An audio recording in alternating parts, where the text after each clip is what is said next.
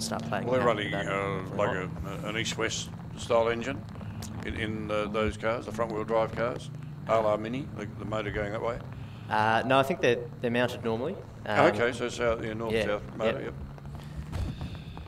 well, um, this will be a good uh, a good test of driver ability in this particular one, and another good uh, test of who can get off the start.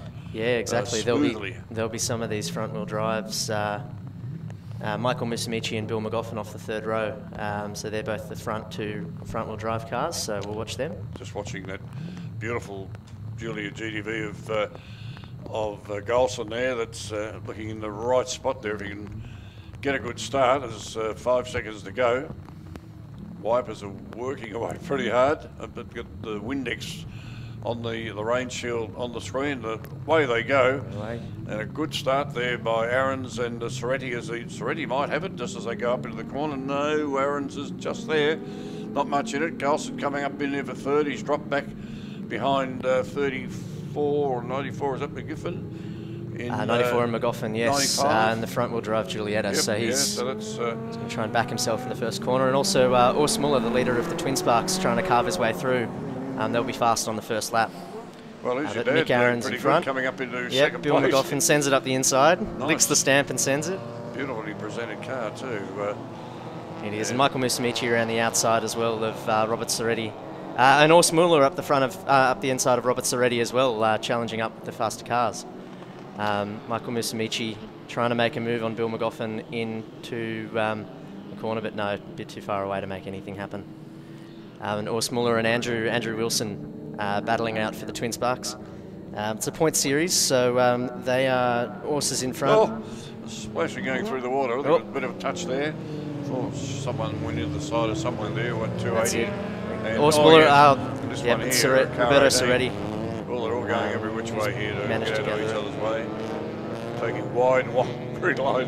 One went off the deck there. I'm pretty sure he didn't come back on. So uh, they make their way around up the cleavage end, uh, as we say, going through the lake that's uh, just on the apex of the corner there. Yep.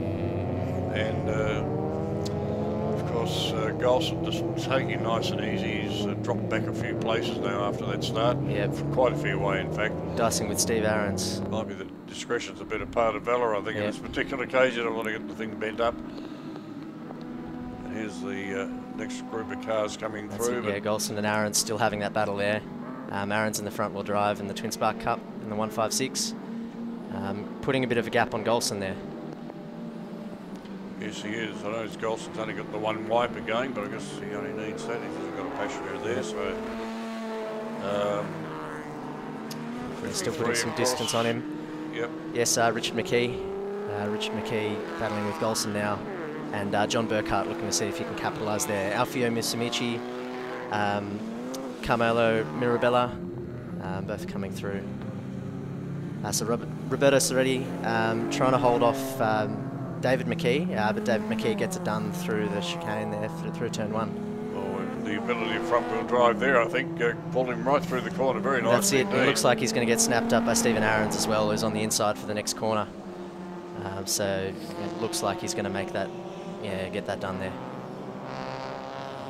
A couple of the cars look to me as though they're fogging up a bit too. They get uh, a bit hot inside, and you get the humidity inside the car, and it, I guess they're probably still running Divistas and all that sort of stuff in these Yeah. cars. I know Roberto's got the uh, the plexiglass, so he might be struggling with that a little bit. Yes. Is that in car 18? Uh, yes. Yeah, I noticed uh, earlier on today when he's coming down the straight, the back window, you can see it actually flapping a little bit in the, uh, the plexiglass. Oh, Mick, Mick Aarons has been um, has been snaffled up by uh, Stephen Aarons actually, and Mick's been racing for the flag, so I don't know if he's got an issue there with his uh, GTV6. Car 51, that is. Oh, he's Oh, very sideways too. Very sideways. He might have an issue with that car, perhaps. You're wondering how many of these guys have actually raced in the wet. You know, there might be guys that. Oh, there's there's a fair, fair few in the wet, um, but uh, you know maybe not here at Winton. You know most of our field here is from New South Wales, so you know we're Oh. normally at Eastern Creek or, or Wakefield. So had a fair bit of rain up there lately, that's for sure. I agree, I mentioned that before. yeah, a bit of a traffic jam up there while they're trying to navigate. I think, uh, yeah, a couple of the cars have, have, probably given up on racing today and just trying to get it home safe. Uh, it's very, very wet out there, but uh, uh, certainly not Richard McKee on screen now. He's, he's certainly sending it. He's charging it down the inside of uh, Roberto Soretti. Interesting, he hasn't got his wipers going. Well, he certainly didn't have then. No, he hasn't got. He might have the uh, good old good old Rain-X. Yeah, Rain-X. Yeah, he might have it on there.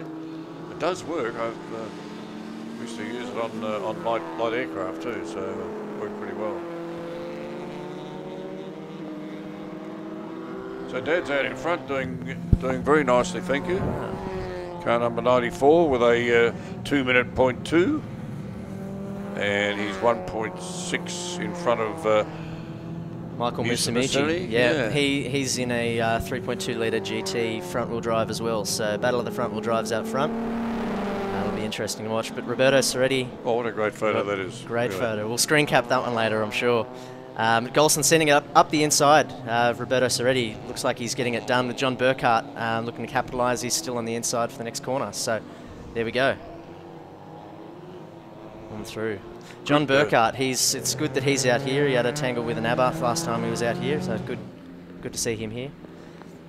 Yes, I think you were saying that the yep. car is completely fostered up. He can't see where he's going. Yeah, unfortunate so just, for Mick. Just as well to pull out, I guess. Yeah, unfortunate to Mick. We'll have to see how the point standing uh, checks out. He was in the lead going into the race. Um, Urs Muller, I think he's uh, he's coming uh, in second in the twin sparks behind Andrew Wilson, who's a bit further up the trap. Um, Urs Muller and Brad had a bit of a tangle in the last race, but uh, it's a good testament to the series. Straight away afterwards, they're both under replacing the sump and um, getting Brad's car back on the road. So um, maybe not mates on track, but certainly mates off track. That's the way to be. Yep. That's good, it. Bit of uh, matemanship about it. That's it. And Peter Tillett, uh, yeah, third in the Twin Spark Cup. Normally they're they're quite dicey together, um, but uh, a little bit separated given the conditions, I'm sure. One off on the boondocks up here. I haven't quite got the uh, number. Michael Musumeci. Michael yes. Musumeci. So he was chasing down Bill McGoffin, and um, I don't know what happened there. Might have understeered off the. Um, so he's oh, he's trying to wipe the inside of the windscreen. He can't see where he's going. Yep. I think he's given it away. No point in uh, yep. bending the machinery for anything unnecessary. No, so David McKee um, on screen up in fifth now uh, as a result of that. Really a battle of the twin sparks. And uh, Stephen Aarons on screen out of Monza Motors, um, doing a doing a great job this weekend, and um, I guess really good for us New South Welshmen to um, to you know have the chance to battle with our Victorian counterparts. Um, so he makes up part of the Victorian contingent. So thank you very much for having us here.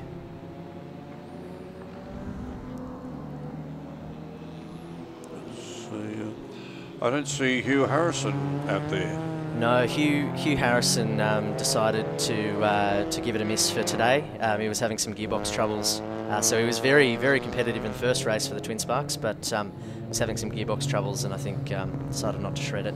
I had Hugh do some uh, work on my uh, Alfetta uh, in his uh, Monza workshop.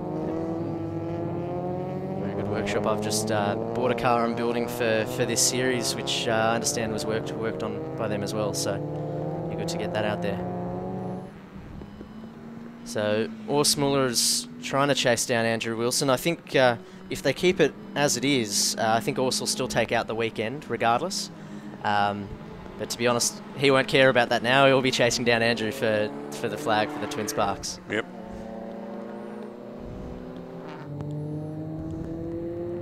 Uh, we've got Alfio and uh, Roberto Soretti um, back in the, the GTV. Uh, well, Roberto in the GTV6 and uh, Alfio in the GTV Turbo uh, two litre, four cylinder. Might have might have stuffed that up on uh, on Saturday. It was very quick to correct me there. Fair enough. Yes. amazing. If you made a, make a, a, comment that's not quite right from the commentary point. I mean, you know, I gave him a two two extra cylinders, so. No, it doesn't know, matter. It could be two weeks later, and I'll, I'll pick you up on it. Either way. yes. uh, but um, no, it's it's a good testament to the regs that we've got that uh, you've got some very different cars that are, are, still battling out and putting some similar times down. So uh, Alfio with his turbo being one of them, sticking it to the, the GTV 6s.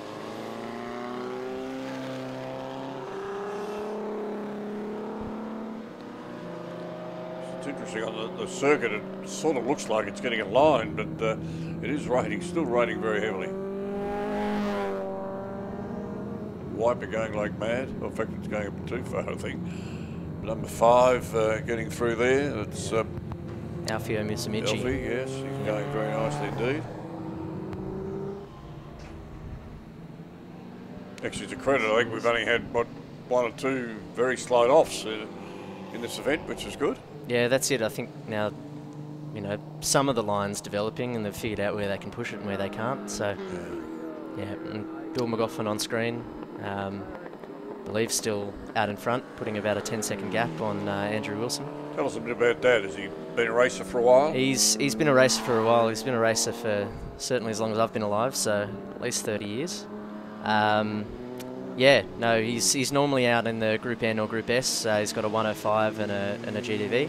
Um, so uh, yeah, but he's he's brought out the Giulietta today. Um, he looks like mum's shopping car, isn't it? well, funnily enough, we used to have a Giulietta that was mum's shopping car. So Right, uh, yeah. not this one, not this one. This one's uh, a lot faster.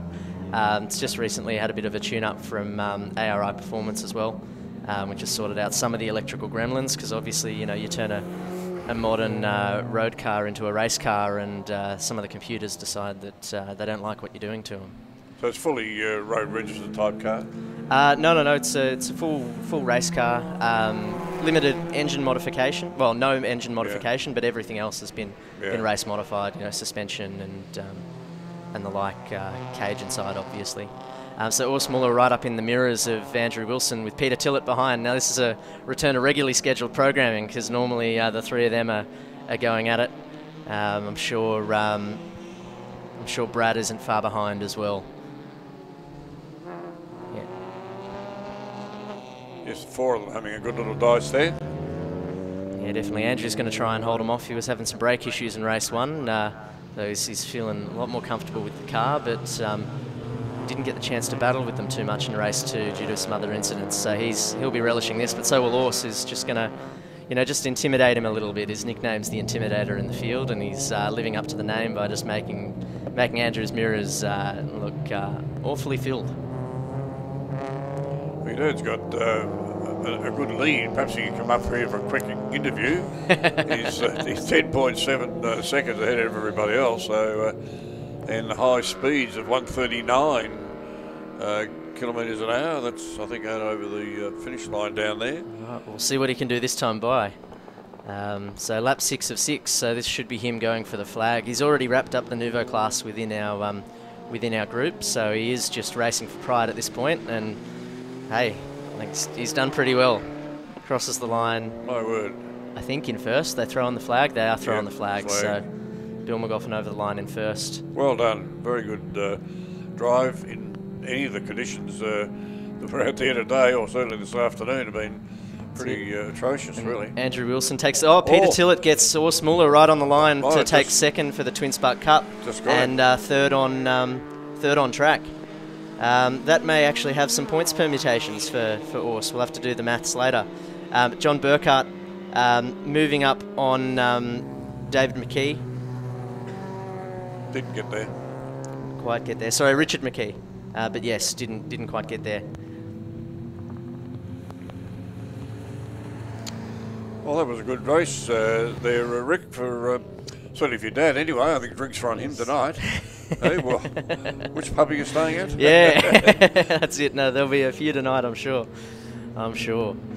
Um, we've got, um, yeah, battle for 12th between uh, Robert Panetta and, um, oh, my apologies, uh, Ray Pignataro uh, in the Alfasud. Uh, so they're, they're still going for it there. Um, Robert Panetta, Manning Motors of the Brookvale Mafia in uh, in uh, Manly, down in uh, oh, up in Sydney. Um, so he's been racing for quite some time. Runs a, a classic shop. Um, his sons are here today as well. They've uh, been preparing his car, and I, as I understand it, potentially building a Twin Spark Cup car.